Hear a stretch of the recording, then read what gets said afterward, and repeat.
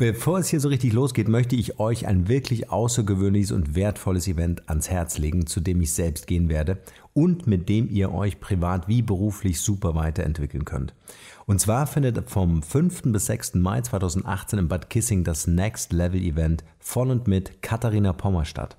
Das Event hat eine echt spannende Agenda mit inspirierenden Keynotes, wie ich finde, sowie Übungen, Impulsen und hier werden vor allem die Werkzeuge und Methoden an die Hand gegeben, die euch wirklich weiterbringen. Ihr lernt zum Beispiel, wie ihr blockierende Glaubenssätze dauerhaft auflöst, wie ihr eure Vision konkret umsetzen könnt und vieles mehr.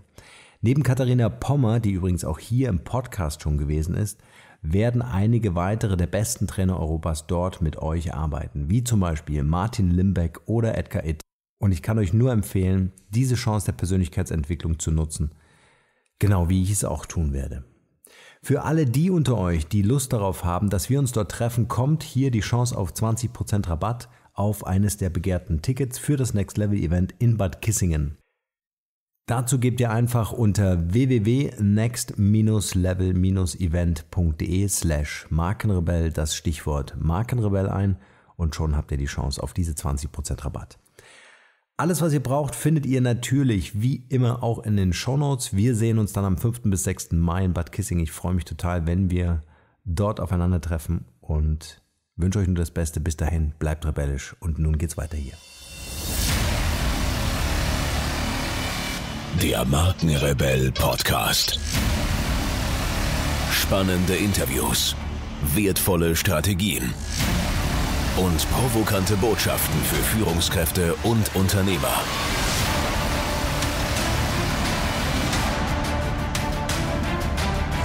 Stell dich den Herausforderungen der Digitalisierung und setze als Marke ein Zeichen. Von und mit Markenrebell Norman Glaser. Yes, here we go. Herzlich willkommen zu einer weiteren Podcast-Interview-Folge. Vielen Dank für eure Zeit und schön, dass ihr wieder reinhört. Beim Aufbau deiner Personal Brand spielen viele Faktoren eine Rolle. Ein wichtiger Bestandteil ist die digitale Selbstvermarktung. Glücklicherweise bietet das Internet und die sozialen Medien heute gute Möglichkeiten, um deine Marke auszugestalten und dir mit Strategien des Online-Marketings die nötige Aufmerksamkeit zu sichern. Mit kreativen Ideen, einem Konzept und etwas Zeit und Geduld kannst du klar und deutlich in den virtuellen Raum ausstrahlen und zu einer starken, gut positionierten Marke werden. Wie das gelingen kann und worauf es dabei ankommt, darüber möchte ich mit meinem heutigen Gast sprechen. Er hat neben seinem BWL-Studium den YouTube-Channel 5 Ideen aufgebaut und ist seither fasziniert von den Möglichkeiten des digitalen Marketings. Immer tiefer ist er in diese Materie vorgestoßen und hat mit weiteren Projekten in den Bereichen Amazon, Social Media und Sales Funnels geballtes Wissen zum Thema digitales Marketing aufgebaut. Mit seiner Unternehmensberatung Leaders Media hilft er Unternehmen, Selbstständigen und Gründern dabei, ihre Produkte und Dienstleistungen online richtig zu vermarkten und damit neue Kunden zu gewinnen. Zudem ist er, was mich persönlich immer freut, auch ein leidenschaftlicher Podcaster und bringt den Podcast Stay Hungry, Stay Foolish heraus, den ich euch wärmstens ans Herz legen kann. Nun also viel Spaß mit meinem heutigen Interviewgast, Robert Heinecke.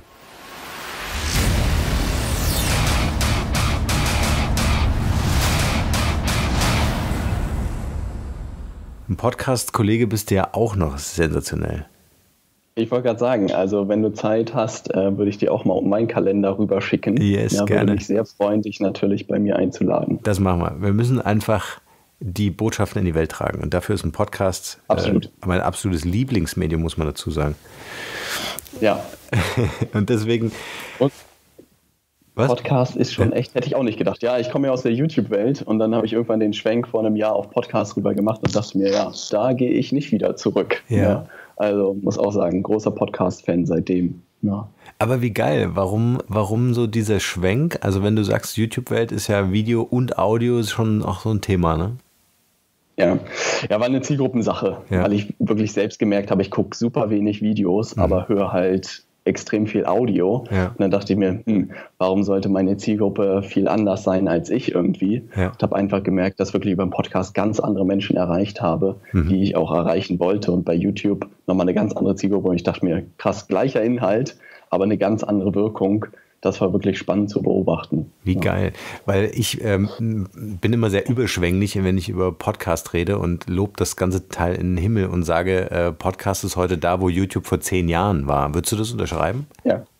Ja, würde ich unterschreiben. Schon, ne? Also so viel, wie da jetzt auch im Moment getrommelt wird, auch immer mehr Leute sozusagen kommen mit guten Inhalten. Ja. Davon profitiert ja die ganze Plattform. Ja. Und was da auch mittlerweile schon an Traffic ist, ich begleite zwei, zwei Freundinnen von mir im Bereich Yoga und Ayurveda. Also wenn ich deren Downloadzahlen sehe, da wird mir aber schwindelig. Und da dachte ich mir so echt mit einem Klick und drei Folgen online und zack geht sowas irgendwie durch die Decke. Also das habe ich in der Form noch nicht erlebt auf keinem Kanal. Ne? Und ja. das war echt schön zu sehen. Ne? Sehr cool. Vielleicht können wir da nachher noch ein bisschen ähm, äh, mehr an, Inputs raushauen für die Hörer hier, gerne, gerne. Ähm, um einfach so ein bisschen auch Thema digitales Marketing zusammenzukriegen mit äh, dem Thema persönliche Marke. Also wie kann ich es schaffen, mich mhm. selbst über digitale Kanäle als Marke aufzubauen. Aber bevor wir da einsteigen, mhm. vielleicht ganz kurz zu dir als Privatperson. Wer ist Robert Heinecke als Privatperson und was genau machst du heute beruflich? Mhm. Soll ich damit einfach mal starten? Leg los. Genau. Ähm, wer ist Robert Heinecke? Ich habe äh, mit Ach und Krach mein Abitur tatsächlich bestanden. Ich glaube mit 3,0. Absolut. Geil. Also äh, zu der Zeit habe ich mich auch sehr wohl gefühlt damit. Ähm, ich glaube, ich war wirklich einer der faulsten Schüler. Ähm, und dann ging es halt so los und mein Vater, ich weiß noch, das Gespräch mit meinem Vater, er meinte, Robert, beim Studium hast du jetzt die Chance, ein entspanntes Leben zu haben, wenn du Gas gibst und dann einen vernünftigen Job machst, oder du wirst es halt immer schwierig haben, wenn du auch das irgendwie in den Sand setzt. Und die Worte klingen irgendwie noch so in meinen Ohren und ich so, alles klar, Studium mache ich jetzt vernünftig. Ähm, und habe mich halt umgeschaut und mein Vater ist Unternehmensberater gewesen und ich dachte mir so, mit BWL kann ich nichts verkehrt machen. Und dann saß ich, bin ich nach Süddeutschland gegangen für ein duales Studium und saß in der ersten Vorlesung und meine Augen leuchteten wie sonst was. Also es war das erste Mal, dass ich wirklich mit Wirtschaftsthemen in Berührung gekommen bin. Und ich bin wirklich, also innerlich bin ich ausgerastet, weil ich mich so gefreut habe, weil ich dachte, hä, Lernen kann plötzlich Spaß machen und es ist genau mein Thema und ich habe es wirklich die drei Jahre verschlungen irgendwie.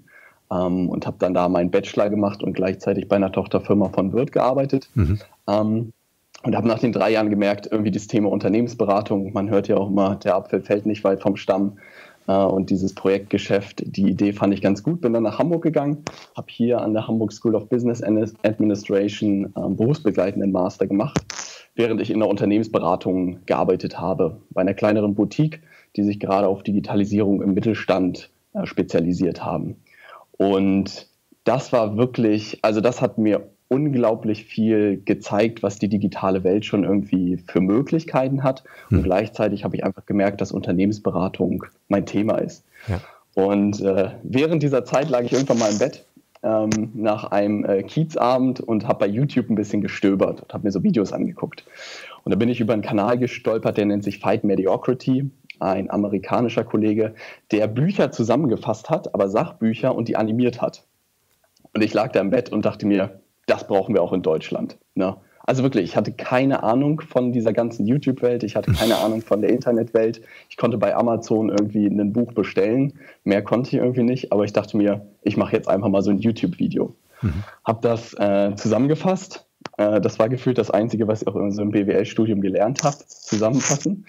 Insofern ging das relativ von der Hand. Und dann habe ich mir jemanden gesucht, bei eBay Kleinanzeigen habe ich ein Inserat aufgegeben, dass ich eine Whiteboard-Animation suche, weil ich schon gemerkt habe, dieses Animieren von Büchern, ja. da werde ich kläglich scheitern. Und dann hat sich jemand gemeldet und meinte, eigentlich habe ich ein Whiteboard für mein Büro gesucht aber was hast du denn davor? Ne? Und daraus ist jetzt irgendwie der YouTube-Kanal Fünf Ideen entstanden, läuft, glaube ich, seit mittlerweile zweieinhalb Jahren. Wir haben über 60.000 Abonnenten, Krass. über drei Millionen Aufrufe oder sogar vier Millionen mittlerweile. Ähm, und es war mein persönlicher Einstieg in diese digitale Welt, weil ich mir dachte, krass, ähm, wir sind irgendwie zwei Jungs, mhm. die ein Spaßprojekt gestartet haben, wirklich auch keine, keine Ideen von Monetarisierung etc. hatten, aber das hat mir das erste Mal gezeigt, wie viele Menschen man irgendwie erreichen kann. Mhm.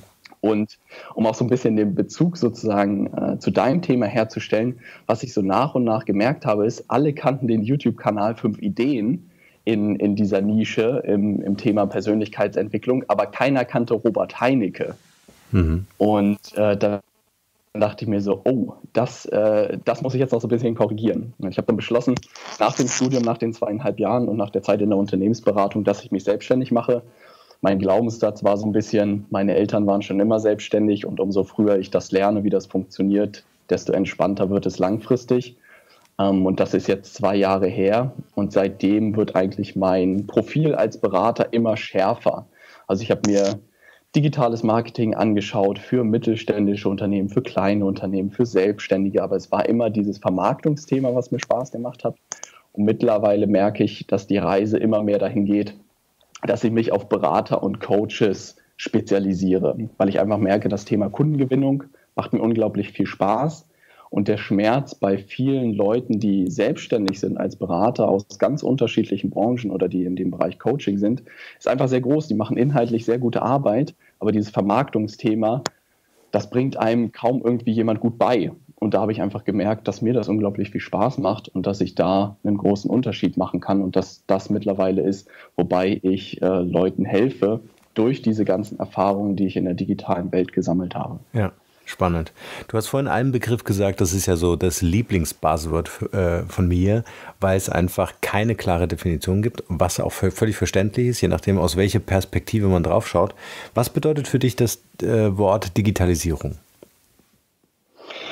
Das ist tatsächlich äh, ein guter Punkt. Also ich habe mich auch viel damit beschäftigt und egal mit, also immer abhängig davon, mit wem man spricht, glaube mhm. ich, hat jemand wirklich was anderes im Kopf. Ja. Sei es von Industrie 4.0 Konzepten, sei es von Softwareprozessen, internen Prozessen, die man verschlanken kann, mhm. sei es die Vermarktungsseite, sei es, dass man irgendwelche Marketingprozesse automatisieren kann, mhm. verbessern mhm. kann. Also ich glaube, es kommt immer sehr darauf an. Und deshalb habe ich auch im Nachhinein gemerkt, dass das Profil der Beratung, bei der ich vorher war, sehr un unscharf war. Also die sind auch immer mit dem Thema Digitalisierung rausgegangen, hatten dann aber wirklich Fragestellungen von, welche Produkte sollen wir als Großkonzern, welche digitalen Produkte sollen wir entwickeln, bis hin zu, wir brauchen hier die äh, Konsolidierung von I unserer IT-Infrastrukturlandschaft. Ja, ja. Und äh, da habe ich immer mehr gemerkt, dass das Thema digitales Marketing eigentlich mein Thema ist. Und ich habe es auch ein bisschen digitales Marketing getauft, ähm, bei so Online-Marketing ich einfach gemerkt habe, im Kopf der Leute ist das irgendwie SEO und Google AdWords. Und das ist für mich einfach nur noch heute ein kleiner Kuchenstück von dem, was heute einfach möglich ist. Ne? Ja, ja. Und damit habe ich das so ein bisschen betitelt. Aber Digitalisierung ist wahrscheinlich auch deine Erfahrung. Da versteht jeder irgendwie was anderes drunter und man kommt schwer auf einen Nenner in der Konversation. Ja. ja, es kommt immer so ein bisschen darauf an, ähm, wie tief ist das Wissen zum, also die, oder mhm. auch die Digitalkompetenz desjenigen. Ähm, äh, und je interessanter äh, wird die Definition von Digitalisierung.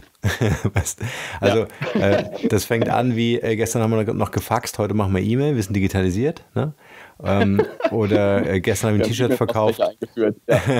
Heute verkaufe ich E-Books, ja, auch digitalisiert. Ja. Aber äh, also super spannend. Vielleicht äh, an dieser Stelle den Aufruf an alle, die, die zuhören, äh, auf markenrebell.de im Blog einfach zu dieser Podcast-Folge unten drunter ein ähm, paar Kommentare rein mit eurer Definition von Digitalisierung. Am besten so die Essenz in einem Satz. Das würde mich mal interessieren. Finde ich immer wieder spannend.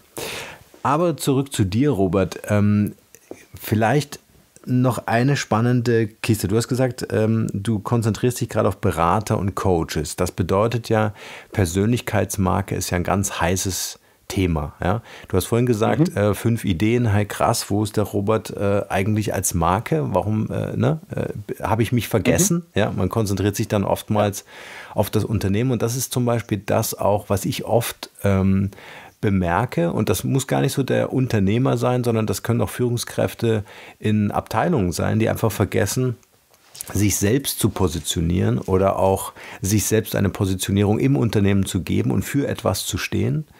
Ähm, was würdest du sagen, wie, vielleicht mal so ganz, erstmal so ganzheitlich von außen drauf geschaut, wie kann digitales Marketing helfen, mich als Marke zu positionieren und sichtbar zu machen? Also tatsächlich haben so ein paar Interviews oder ein paar Leute aus Amerika mir kleine Denkanstöße eigentlich gegeben. Mhm. Also das eine war ein Interview, was ich gehört habe von einem, einem Online-Marketer in Amerika, der gesagt hat, ähm, ich habe immer Produktmarken aufgebaut und äh, habe immer sozusagen da viel Geld reingesteckt und habe aber gemerkt, das hat immer einen Produktlebenszyklus irgendwie und nach ein paar Jahren versandet das Pro äh, Produkt irgendwie, weil es sich abgenutzt hat oder alle das gekauft haben bestenfalls. Mhm. Er meinte aber, was ist irgendwie der kleinste gemeinsame Faktor? Es ist meine Persönlichkeit. Ja. Die Leute wissen, wenn sie ein Produkt von mir gekauft haben, dass wenn sie das dritte Produkt sehen, das ist aus meiner Feder und wenn sie mir vertrauen, dann werden sie sozusagen auch beim dritten Projekt oder beim dritten Produkt wieder zuschlagen, weil sie wissen, das kommt aus meinen Händen. Und das hat bei mir irgendwie so Klick gemacht, weil ich auch gerade in der anfänglichen Zeit der Selbstständigkeit in viele Bereiche irgendwie reingeschaut habe und immer wieder auch verschiedene Projekte gestartet habe und gemerkt habe, uh, wenn ich da jetzt jedes Mal viel Marketingbudget irgendwie ausgebe, mhm. dann ist das ganz schnell weg. Warum packe ich nicht einfach meine Person sozusagen nach vorne und traue mich auch wirklich mit meinem Klarnamen sozusagen rauszugehen auf allen Kanälen. Also mhm. sei es bei Facebook, sei es bei Instagram, sei es beim Podcast, dass jeder diesen Robert Heinecke kennt.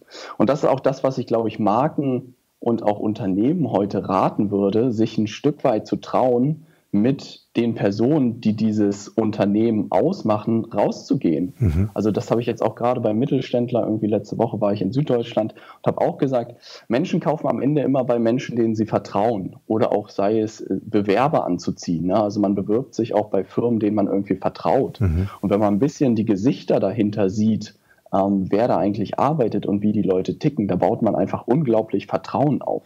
Und das muss nicht immer Klaus Hipp sein und das muss auch nicht Reinhold Wirth sein, der das nur macht, sondern wie du das auch schon richtig gesagt hast, das kann, was weiß ich, der Marketingleiter sein und das kann auch der Logistikleiter sein oder das kann auch Mitarbeiter aus der Produktion sein. Aber für mich geht es halt wirklich, wir sind irgendwie in Social Media Zeiten, es geht um soziale Beziehungen mhm. und ich glaube, da muss man es als Marke auch hinbekommen, seine, sein, seine sozialen Beziehungen ein Stück weit nach außen zu tragen und für, für Interessenten sichtbar zu machen mhm. oder greifbar zu machen. Mhm.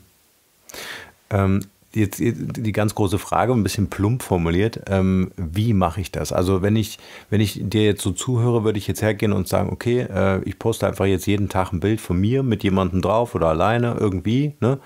Ähm, aber es fühlt sich für mich so ein bisschen ziellos an.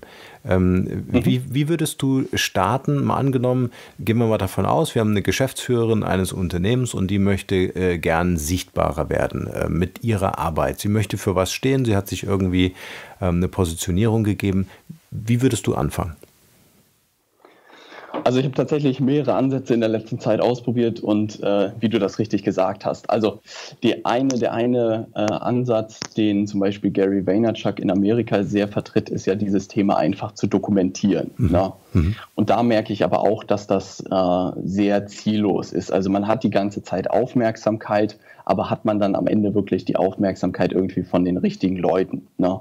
Um das wirklich mal so operativ auszudrücken, wäre es halt wirklich, man, man dokumentiert seinen Alltag, sei es auf Instagram, sei es im Podcast, wöchentlich berichtet man, was so hinter den Kulissen passiert. Ja.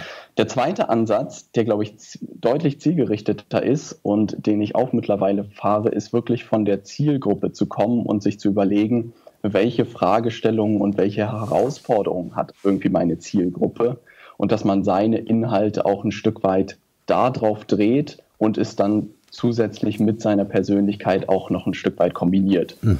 Also das kann sein, was weiß ich, wir überlegen in unserer Produktion irgendwie gewisse Sachen zu, zu digitalisieren, gewisse Prozesse zu automatisieren und dass man da einfach mal hinter den Kulissen mit den Leuten spricht, die dafür verantwortlich sind und die einfach interviewt, wie man das Ganze angeht. Mhm. Dann hat man zum einen diese Transparenz, man hat sozusagen den Ansatz, man hat die richtigen Leute da und man hat gleichzeitig irgendwie Gesichter zum, zum Greifen. Und ich glaube, wenn man da in die Richtung geht und immer vom Kunden kommt, dass man da schon sehr viel Aufmerksamkeit machen kann. Ja. Also ich habe mal den Test gemacht, bei zum, zum Beispiel bei YouTube oder so, wenn du da Industrie 4.0 oder so eingibst, mhm. da ist gähnende Leere. Ja.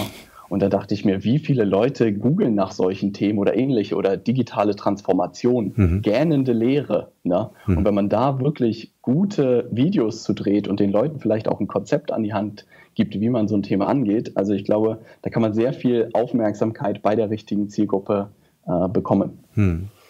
Spannend. Jetzt ist ja nicht jeder eine Rampensau. Ja, also wenn ich an mich denke, dann äh, habe ich jetzt kein Problem, vor einer größeren Menschenmenge zu sprechen, aber ich bin jetzt nicht so der Gary V, der da ständig irgendwie ja. äh, auf der linken Schulter eine, eine Actioncam hat oder so und das Ganze aufzeichnen. Ja. Deswegen habe ich mich auch bewusst für Podcast entschieden, mhm. ähm, weil ich einfach sage, ähm, ich will auch mit schlecht gekämmten Haaren äh, geilen Content produzieren, der irgendwie wertvoll ist ja. für andere. Ähm, muss ich so aus deiner Sicht, um langfristig erfolgreich zu sein, muss ich so diese Rampensau sein oder kann ich auch mit einem Understatement-Image äh, irgendwie punkten? Also was ich in den letzten äh, Monaten wirklich beobachtet habe, ist, glaube ich, erstens sein Format zu finden, ja. ne? weil viele Leute trommeln immer auf unterschiedliche Kanäle. Was weiß ich, du musst jetzt bei YouTube sein, du musst jetzt Blogartikel schreiben, du musst jetzt Instagram haben, du musst einen Podcast machen. Aber am Ende, glaube ich, muss man sich selbst auch diese Frage stellen und die du dir ja dann auch gestellt hast. Ähm, wie möchte ich irgendwie gute Inhalte liefern und was ist mein Medium? Und es gibt ja wahrscheinlich auch einen Grund, warum du einen Podcast gestartet hast und nicht einen Blog gestartet hast, wo du irgendwie wahnsinnig lange Artikel schreibst oder als erstes die Artikel schreibst und dann irgendwie vertonst. Mhm. Und ich glaube, das muss man für sich selbst rausfinden. Ich habe auch gemerkt, das Video funktioniert, aber wie du selbst sagst, da mussten immer die Haare sitzen. ähm, und es war unglaublich viel Aufbauen, Hochladen, die Betreuung. Also es war ein unglaublicher Aufwand, YouTube zu betreiben.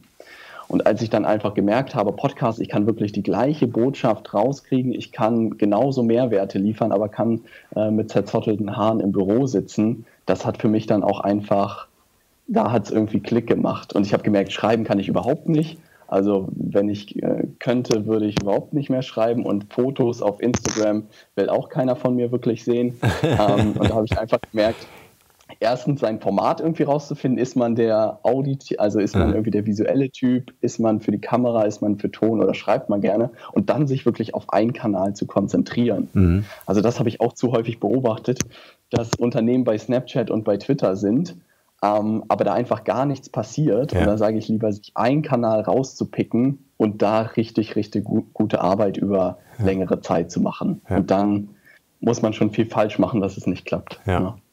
Jetzt habe ich ja eingangs gesagt, dass du auch Podcaster bist. Ist natürlich auch super eigennützig, jetzt äh, von mir dich zu fragen, was sind so deine drei geilsten Hacks, äh, um wirklich einen Podcast äh, nach vorn zu kriegen? Also ich muss, also da habe ich alle möglichen äh, Sachen schon irgendwie ausprobiert ähm, und habe auch in der letzten Zeit sehr vielen Leuten dabei geholfen, ihren Podcast online zu bekommen, weil ich einfach gemerkt habe, wie viel er mir geholfen hat mhm. und ähm, wie viel tolles Feedback man auch am Ende bekommt, das auch für das Thema Kundengewinnung tatsächlich sehr interessant ist. Ähm, was ich gemerkt habe, dass es immer sehr auf den Markt darauf ankommt. Mhm. Also ich habe auch äh, einigen Freundinnen von mir geholfen, die zum Beispiel in Massenmärkten unterwegs sind, sowas wie Yoga, Ayurveda, Ernährung. Mhm. Also da waren wirklich drei Podcast-Folgen online und die hatten schon irgendwie 100.000 Downloads. Und ich saß da und dachte mir so, Krass. euer Ernst? Ich mache das seit einem Jahr und ihr habt mich mit drei Podcast-Folgen überholt. Ja. Und, dann, und dann sitzen sie da noch und sagen, ja, Robert, ist das gut? Und ich so, nicht euer Ernst. Kann man lassen. Und ja, kann man lassen, meinte ich auch. Und äh, dann gibt es halt so Sachen wie, wo man wirklich in Nischenthemen irgendwie ist. Und da habe ich einfach gemerkt, dass, dass Interviews sehr gut funktionieren. Also, dass man Leute interviewen muss und andere Leute eingeladen werden muss, die irgendwie bestenfalls schon Reichweite haben. Weil alles andere von außen irgendwie Traffic zuzuführen unglaublich schwierig ist. Also, ich weiß nicht, wie deine Erfahrungen da sind, aber für mich ist Podcast so ein bisschen mehr so ein Conversion-Tool, also wo man Leute die einen schon kennen, sozusagen nochmal von seinen Inhalten überzeugt oder auf dem Laufenden hält. Mhm. Aber es ist nicht so wie bei YouTube, wo du wirklich ganz neue Leute irgendwie reinbekommen kannst. Ähm, da bastle ich auch noch, aber natürlich alle Leute, die sich meine Sachen runterladen, landen sozusagen oder werden immer auf dem Podcast gelotst. Und das ist irgendwie der Weg. Und die Leute, die da ihren Weg finden, die bleiben dann auch häufig da drin. Ja. Ja. Also das ist auch meine Erfahrung. Reichweite kriegst du relativ schnell. Äh, mhm. Aber Interaktion, da musst du dich wirklich kümmern, weil du hast halt diesen Medienbruch. Ja. Ne? Also wenn die Leute hören über die Podcast-App auf dem iPhone oder wie auch immer, äh, dann ist es halt ziemlich äh, doof zu sagen, ey, kommt rüber zu Facebook und schreibt mir dort oder geht auf meinem Blog ja. oder so. Aber was ich ganz spannend finde, und das freut mich natürlich immer wieder, wenn du dann äh, irgendwie ein Feedback bekommst und ähm, die Person sagt, ey, ich höre dich schon seit einem Jahr, du bist Teil meines Alltages, ja. Und ja. Ähm, äh, jetzt wollte ich einfach mal Danke sagen oder dir was schicken oder was auch immer.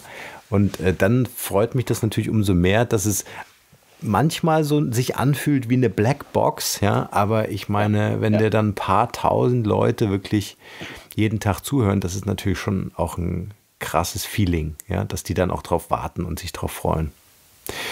Ähm, ich glaube, das ist auch die Herausforderung am Ende. Ja, also das merke ich immer klar. mehr. Dadurch, dass das nicht greifbar ist für Menschen, unterschätzen sie die Macht des Ganzen. Ja. Also ich hatte das, letztes Jahr hatte ich da ein Beispiel, wir haben hier Trainings in Hamburg gemacht zu dem Thema, wo wir Leuten gezeigt haben, wie sie digitales Marketing für ihr Unternehmen nutzen können. Mhm. Und ich glaube, ich habe wirklich in ein paar Podcast-Folgen gesagt, hey, wir haben drei Termine dieses Jahr. Äh, wer Interesse hat, hier ist das Angebot, schaut es euch an und äh, meldet euch dafür an.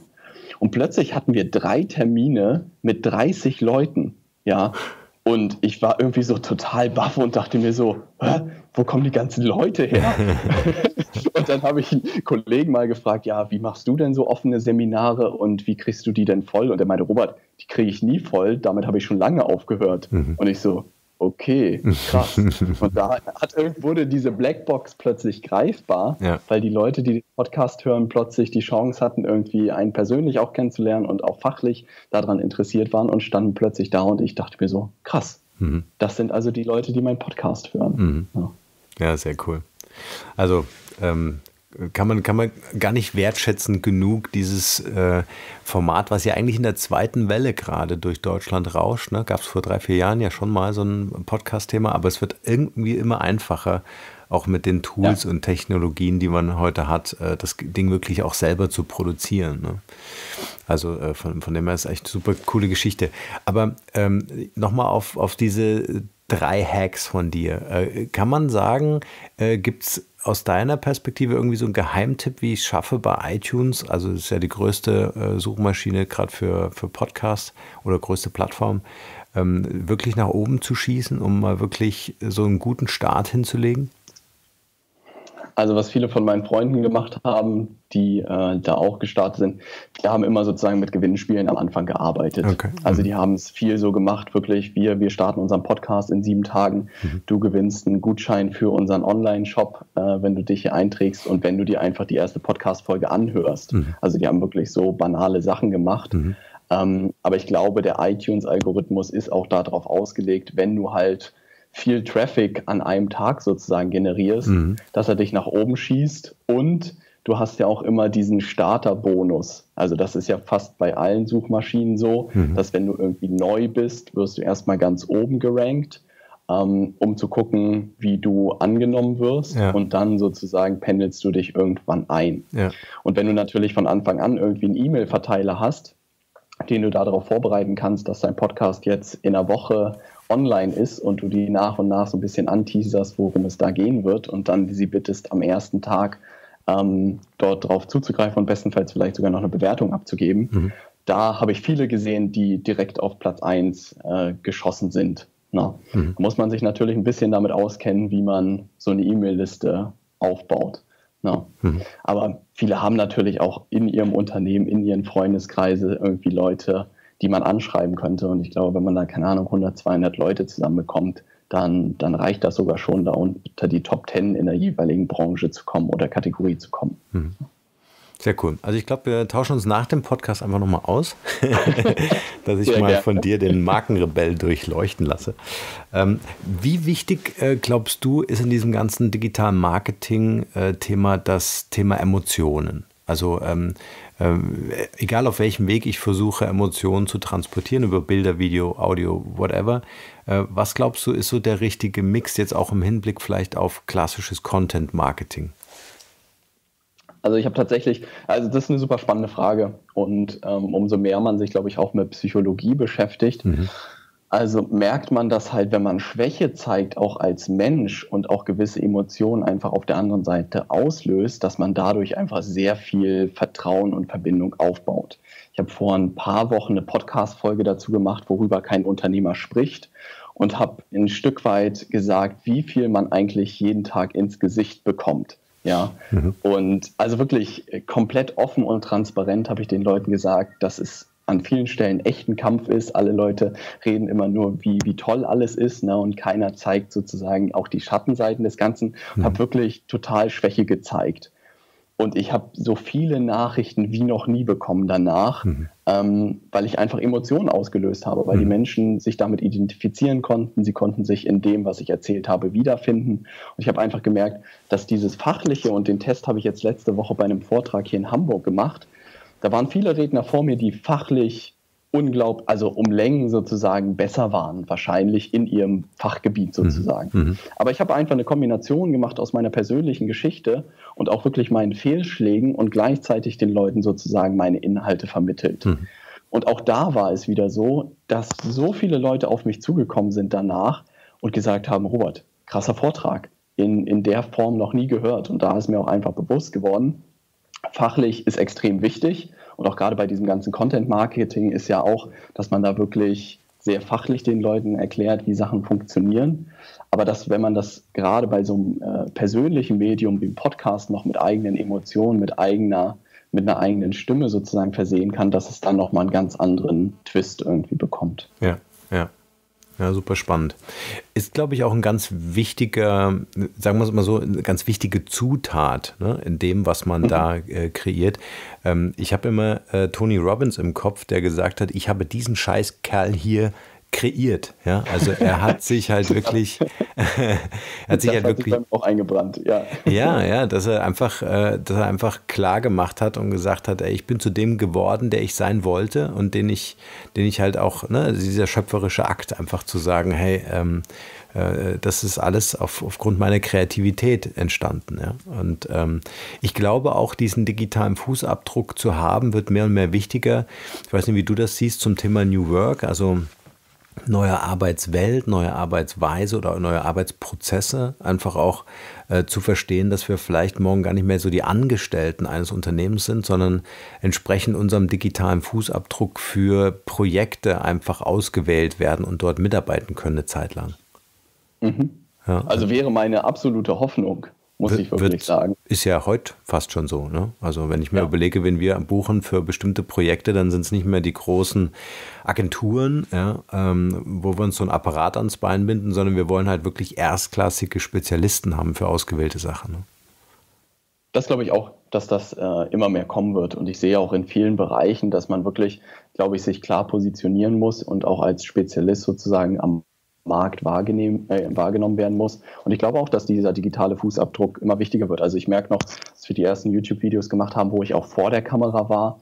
Also was das ausgelöst hat bei Freunden, bei Familie. Oh Gott, Junge, das wird nie wieder gelöscht werden und das sehen noch deine Enkel. Und, ja. und ich so, ja, ich bin da relativ naiv rangegangen, aber auch heute denke ich mir, google mich ähm, da sind lustige Videos dabei, über die ich heute auch herzlich lachen kann. Aber ich habe immer authentisch war ich unterwegs. Ich habe immer in der jeweiligen Situation das Beste gemacht, habe immer versucht, den Leuten Mehrwerte zu liefern. Und da können mich Leute auch noch in fünf Jahren irgendwie googeln und werden Sachen finden.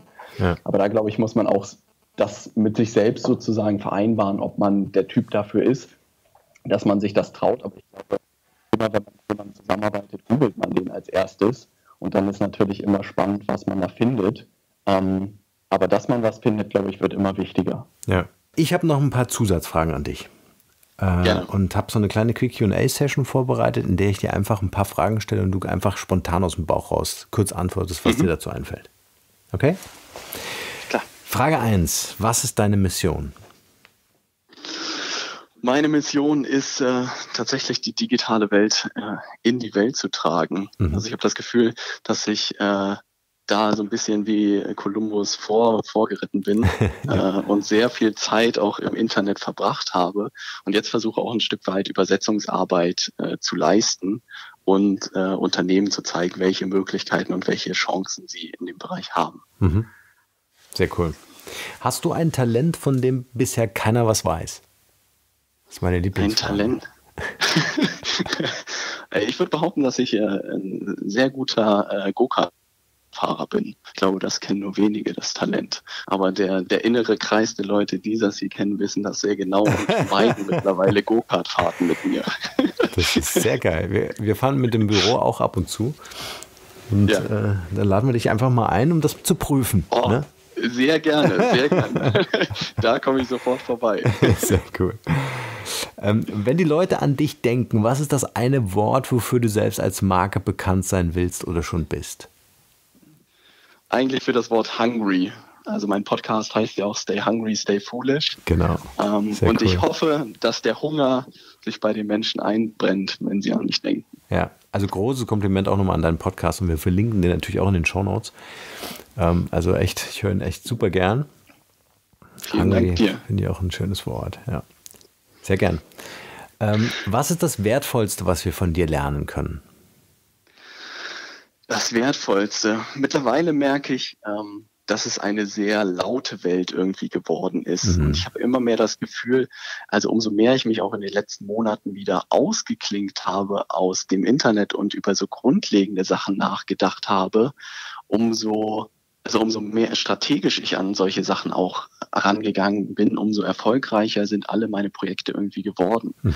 Ich habe das Gefühl, wir, wir verlieren uns sehr viel in der täglichen Hektik und dass wenn man wirklich sich mal so komplett rausnimmt und so auf 10.000 Metern sozusagen auf sein Leben guckt, dass das sehr helfen kann.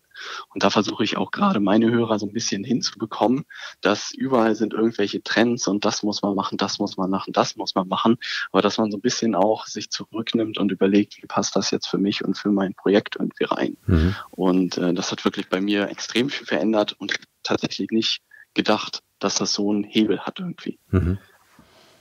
Sehr cool.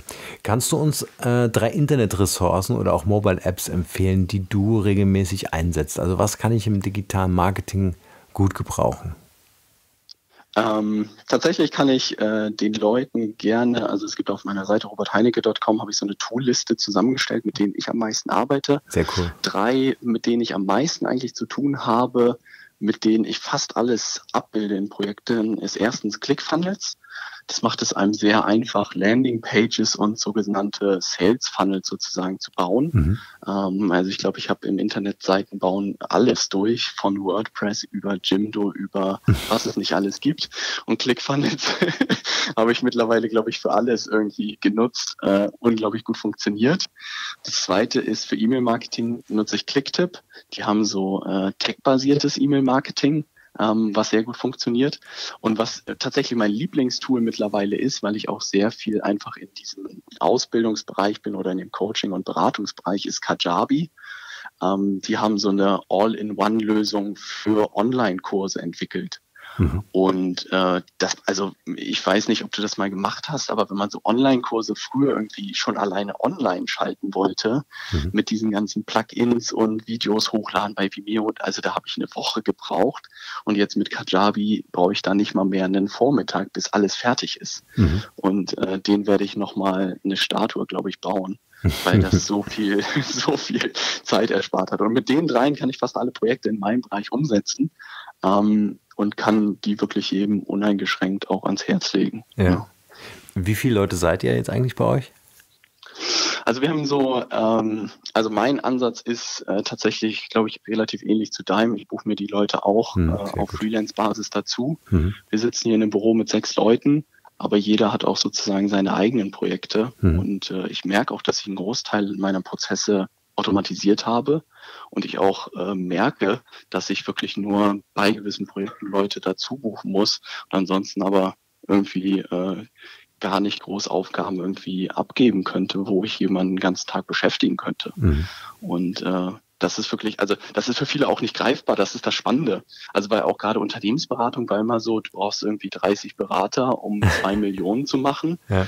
Und jetzt gibt es gerade in Amerika Modelle, wo es zehn Mann-Teams gibt, die im Beratungsbereich 20 Millionen machen. Ja.